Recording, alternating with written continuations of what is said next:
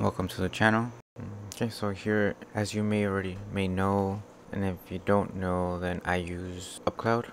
I use upcloud as my service provider for my VPS my virtual private server which they are great but they are they are pricey. Really good quality server. The services for upcloud are great and if you're new to upcloud I'll have the link in the description in upcloud for upcloud and so I'm going to slowly migrate from upcloud to another alternative VPS which is a great one I heard. But the reliability score isn't as high but it's still it's more enticing into the performance isn't as high as upcloud but financially speaking it's a contender. Affordability comes into question as well as one of the key points for me for choosing this particular VPS. You'll see the amount of servers that I currently have. At this moment in time, I currently have maxed out the amount of servers that you can possibly have per account. So, which is 20 servers per account. So let's now check on the amount that I'm currently being billed for. So as you can see, it's uh, daily use is at $3.57 per day. Assuming we're doing it for a month at this current rate, full maxed out 20 nodes running 24 7 for 31 days.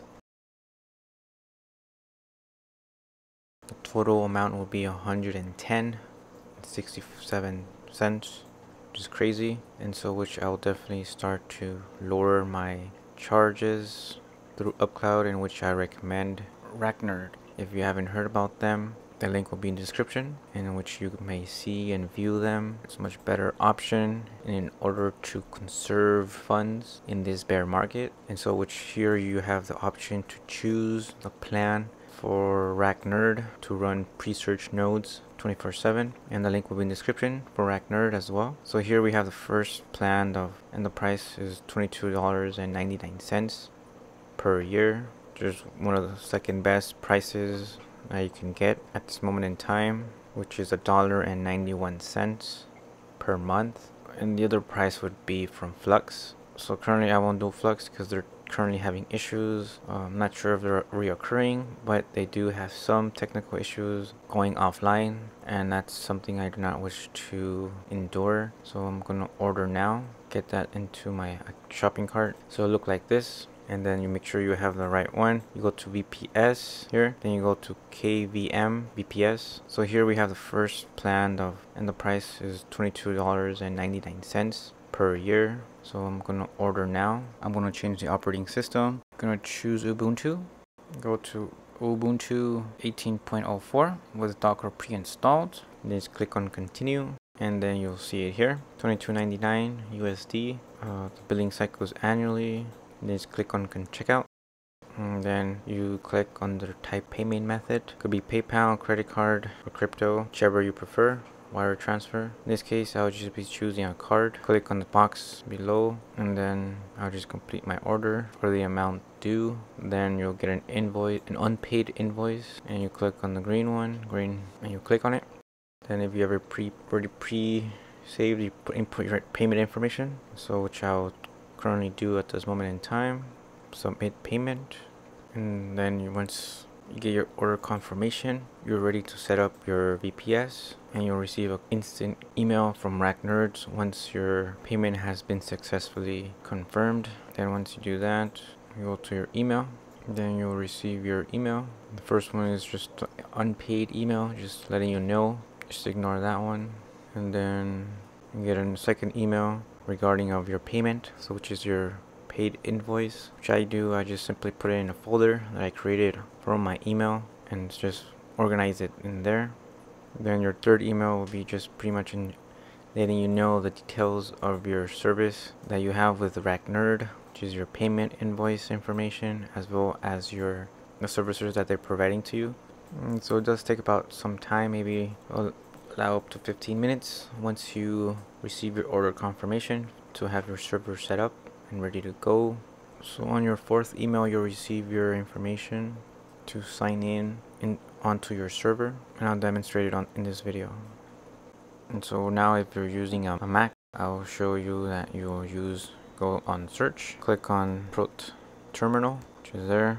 And then once you have that what you're gonna do is put SSH space root at then you go to your email and copy the IP address.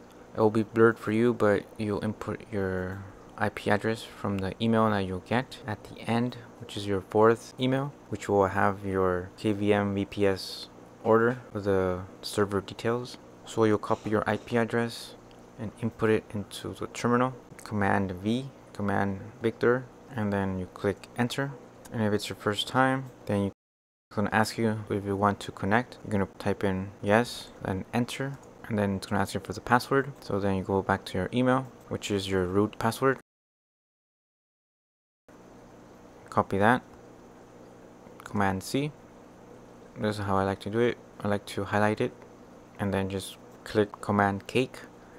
So Command C, and then you go to your terminal and you're going to click on the key then you paste it you won't see it but it's there. And then you click enter. And then once you do that you're ready to do the final part. You go to your Presearch dashboard and then go in your top right hand corner. Click on it's on the three stripes. Just hover over the three stripes and go where it says launch node.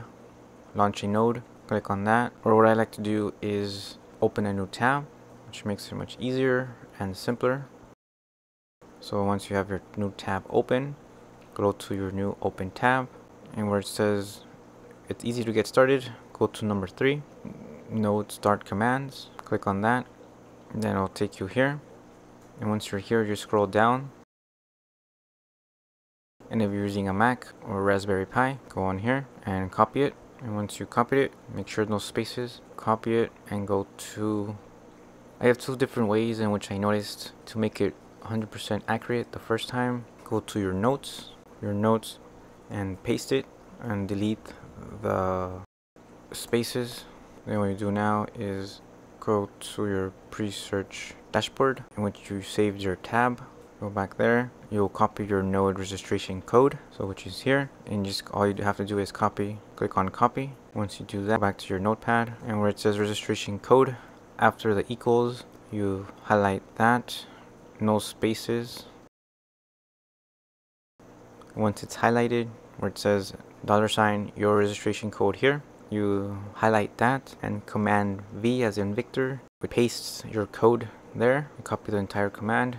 Once you copy it I noticed that when you do it with a notepad the font actually is different. So another way to do it is open messages. If you have it then you'll go to your pretty much send it to yourself and then paste it and then I'm going to just send it to myself and enter. And then what I do since the font here is all the same so you copy it from your iMessage the one that you sent to yourself. I already done it previously so that I done before. Notepad go to back to your terminal. Click on I'm just gonna copy all this. And then paste it because when you put an iMessage it clears out all the different size fonts and puts it into one and then you go back to your terminal and then you paste it and then you enter. Press enter and wait for it to load. Got all green and now it's connecting listening for searches. Description for the rack nerd. It's right here already. That was fast. So what I'll do is just copy this so it's gonna basically be the same. Second. No description Choose that one. So I'm not going to stake yet. So I'm going to first just paste the description.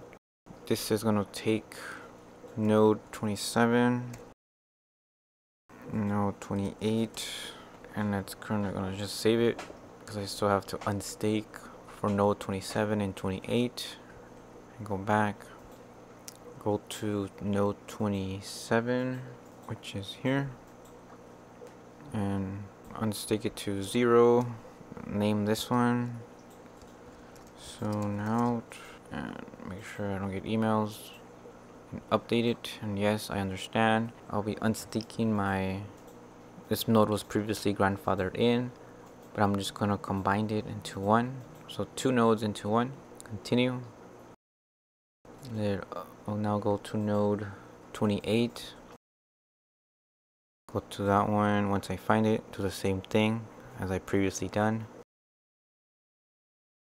Zero name it so I know. And then uncheck the email and saving continue. Same one as before. And then go back. Then I have to go to upcloud and also make sure so I'm not getting charged for not okay so let me go. So I'm gonna go 27 and 28 I'll shut down since it's no longer being used at this moment in time since I unstaked. So now let me go back to my freshly my new node that I've done which is currently the sixth node from RackNerd now I just have to find it. Oh I think it's this one here oh yeah 27 yeah 20 okay I completely forgot to also update this one the sixth node. So there's 4,000 staked so now I'm going to update the stake amount and update it as the sixth node for RackNerd, replacing node 27 and 28 combining into one. So now it's successfully staked. I'll go back go back to upcloud click on server 27 now I'm going to delete it off of upcloud. Mm, and do the same with node with server 28 delete it. Don't forget to like this video if it helped you in any way. And then now I've previously done others as well. These two I'll leave for now since Europe uh, these these I'll leave for now. Since if you see my previous video you'll know why. The link in the description for that. And then now I'll go to billing. And I pretty much drastically decrease my my daily use amount to 36 per day. My daily use to 36 cents. So it was high it was higher before but now I'm cracking down on expenditures. I'm cracking down on expenditures that if I can save I will. And that's what I'm currently doing at this moment in time. And letting you know that you have an option to do so as well. So now that I staked my rack my 6, can now I can also delete node 20 node 25 I'll know I can delete safely now. And then node 26 the ones that are currently already done I'll delete those because those were my previous. I did that already. I'm just doing this one so my members and subscribers as well as my viewers may know about this so now this is my 27th. I don't have none none staked. Before, always make sure before you delete it, you make sure it's unstaked and not in service, not online. So delete node 27. Do the same thing to node 28, just the top one here. Delete that one, no longer in use. And now the new one that I currently have done, just node 27. It's currently at zero since I just started within 25 seconds ago I believe. And yeah it's currently in the US in the pool North American pool. And a little bit there as you can see here the ones I've done already previously. I combined the ones for node 25 and 26 it's now with the fifth node here. I'm combining the two into one node here. So 23rd and 24th 23rd and 24th node into one which is the fourth one and so on yeah, and I also have an update video on this uh, results and see and, show you the results how much you'll earn. And I'll post it here. Hope this video helped letting you know that how you can save especially now in this bear market by just simply updating your VPS but yeah when savings is important the cost matters. And subscribe for more research videos like these. I'll also have in the works. I'll also mention it and I'll link it in the description as well so you may be aware and up to date. Don't forget to like this video if it helped you in any way and keep you informed in Presearch. Thanks for watching.